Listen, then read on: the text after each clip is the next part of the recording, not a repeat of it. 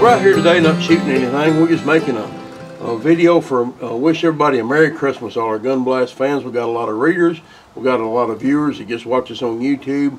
Uh, we've been doing this for uh, almost 14 years now since we started gunblast.com and we really appreciate everybody that supported us over the years.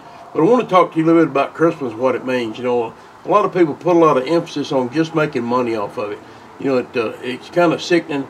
All the people that start even before Thanksgiving promoting things to get you to come in there Christmas shopping. Uh, people spend money they don't have, buying junk nobody needs to give to people they don't even like. And uh, they just make a big hectic mess out of it. But uh, that's not what Christmas is about.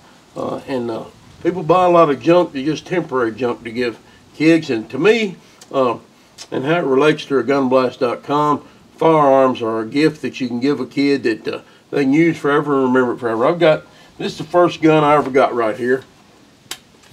So Stevens Model 95 20 gauge shotgun. I got this for Christmas when I was 11 years old. And when I was about 19, I refinished it because it got uh, skin up a whole lot. But I've had this gun all them years and it works as good today as it ever did. Now, if they'd got me some plastic junk when I was 11 years old, which was about 1970, I would have, uh, it would have been long gone now. Old shotgun still works good. Last year for Christmas, I got my grandson this golden boy uh, from Henry, 22 long rifle, and he loves it. This is something that can last.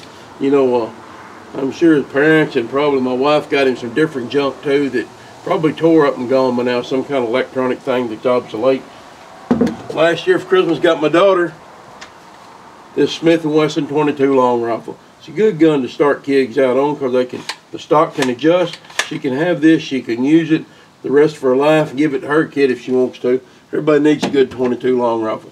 Well, stuff like that uh, lasts a lot longer than something like a Xbox or PlayStation, Nintendo, and all that temporary junk that, that don't last. And we just want you to urge people to relax, have a good holiday season, and remember what Christmas is all about. You know, uh, we celebrate Jesus' birthday. I'm not sure if he was born on exactly December 25th or not, but that's when we celebrate the birth of Christ. And no matter who you are, uh, we can celebrate the birth of Christ. Some people that made it uh, ban their employees or whatever from saying Merry Christmas.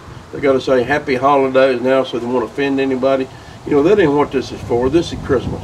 I don't care if you're a Jew, a Muslim, uh, Hindu, Sikh, or Buddhist. Jesus died for you too. He came to this earth. He's God's son, and that's what Christmas is about. And let's not forget that.